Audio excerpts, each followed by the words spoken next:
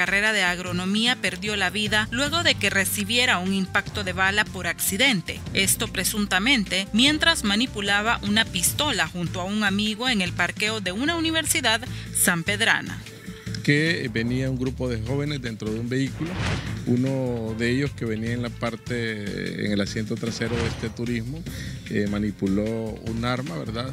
Eh, yendo a impactar este proyectil en la espalda de su compañero. Este compañero fue trasladado hacia un centro asistencial donde falleció. Eh, se ha detenido a esta persona y aún todavía los investigadores están trabajando para poder esclarecer qué fue lo que pasó en este caso. En el marco de la operación Júpiter 2, la alcaldía de Potrerillos fue intervenida para continuar con el secuestro de documentos ante posible delito de malversación de caudales públicos. Durante los allanamientos, tres presuntos integrantes de la Mara MS-13 fueron capturados a quienes se les decomisó un arma y supuesta droga.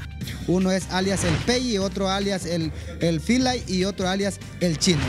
Eh, armas y droga. Una mm, arma tipo AK-47, tipo fusil AK-47, eh, como una sub ametralladora, calibre 7.62, del cual también se le dan decomisado eh, munición, 30 proyectiles del mismo calibre AK-47, 7.62, 30 envoltorios de supuesta marihuana, 26 bolsitas plásticas de supuesta para envolver la supuesta marihuana o preparativos para la misma.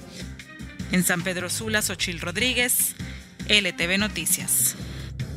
Mientras las autoridades